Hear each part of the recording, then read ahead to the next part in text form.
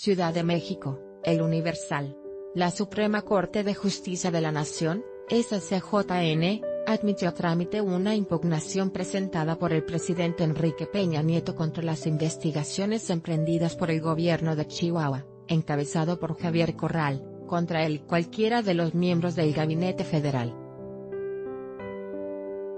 En su acuerdo la Corte ordenó suspender por tiempo indefinido cualquier acto de investigación y procesamiento contra servidores públicos federales hasta que determine si los delitos que el gobierno de Chihuahua pretende perseguir pueden ser investigados y procesados por autoridades locales o federales.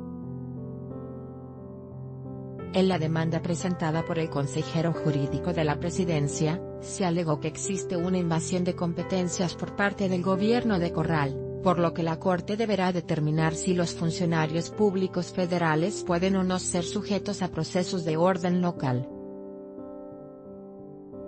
La residencia reclamó las investigaciones, o peticiones de información relacionadas con el ejercicio de las funciones del titular del Ejecutivo y cualquier otro servidor público federal, así como actos futuros de orden de aprehensión, citatorio, detención comparecencia, durante y después de concluir la presente administración. De acuerdo con la SCJN, hasta el momento se desconoce el nombre de los funcionarios federales que son investigados por el gobierno de Chihuahua.